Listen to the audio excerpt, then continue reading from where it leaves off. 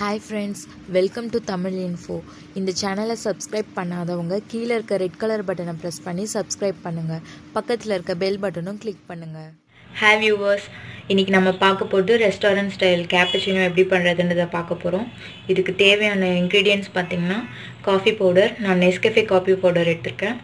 Sugar heat பண்ணி milk எடுத்து வச்சுருக்கேன். ஹாட் வாட்டர் இவ்வளோ தான் ரொம்ப சிம்பிளான மெத்தடு ஒரு வாட்டர் பாட்டில் எடுத்துக்கோங்க. வாட்டர் பாட்டிலில் காஃபி பவுடர் ஆட் பண்ணிக்கலாம். நான் வந்து ஒன் கப் ஆஃப் கேப்பச்சினோ செய்ய போகிறேன் அதே டூ டீஸ்பூன் வந்து சுகர் ஆட் பண்ணிக்கலாம்.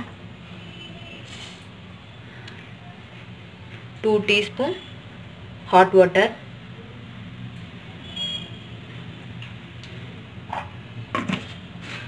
இப்போ வாட்டர் பாட்டிலை க்ளோஸ் பண்ணிவிட்டு இதை நல்லா மிக்ஸ் பண்ணலாம். ஆக்சுவலி நம்ம கையிலே வந்து மிக்ஸ் பண்ணலாம். பட் ரொம்ப டைம் எடுக்கும். நமக்கு கையும் வலிக்க ஆரம்பிச்சிடும் ஸோ இப்படி பண்ணிங்கன்னா உங்களுக்கு ரொம்ப ஈஸியாக இருக்கும். இது இதில் வந்து காஃபி பவுடரோட சுகர் நல்லா மிக்ஸ் ஆகிடுச்சுன்னா க்ரீமியாக வரும். அது வரைக்கும் நம்ம இதை ஷேக் பண்ணிகிட்டே இருக்கலாம்.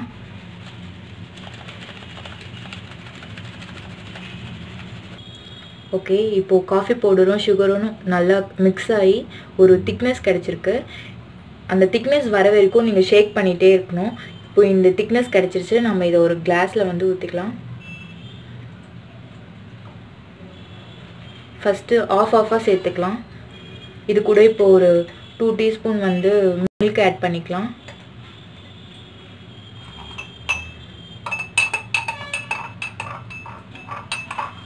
மிக்ஸ் பண்ணிவிட்டு அகெயின்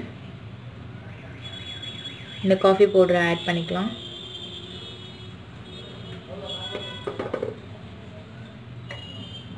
மறுபடியும் ஒரு டூ டீஸ்பூன் மில்க் ஆட் பண்ணிக்கலாம். அந்த திக்னஸ் தெரியுது பார்த்தீங்களா? அண்ட் இந்த மாதிரி நீங்கள் காஃபி பவுடரும் சுகரும் நீங்கள் எவ்வளோ உங்களுக்கு எவ்வளோ தேவைப்படுதோ அவ்வளோத்தையும் நீங்கள் வந்து போட்டு நல்லா ஷேக் பண்ணி ஃப்ரிட்ஜில் கூட வச்சுக்கலாம். உங்களுக்கு தேவைப்படும் போது நீங்கள் யூஸ் பண்ணிக்கலாம்.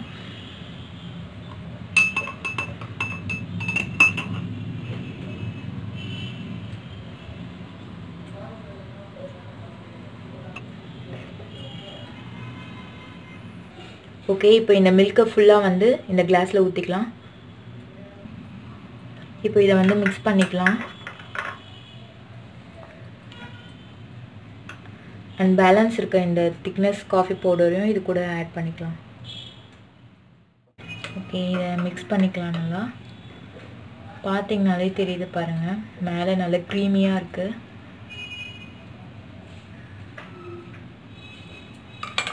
இப்போ இதுக்கு மேலே ஜஸ்ட் ஒரு டெக்கரேஷனுக்காக அப்படியே ஒரு காஃபி பவுடர் ஆட் பண்ணிக்கிறேன். அவ்வளோதான் நம்மளோட சுவையான கேப்பச்சினும் ரெடி ஆகிடுச்சு தேங்க்யூ ஃபார் வாட்சிங் தமிழ் இன்ஃபோ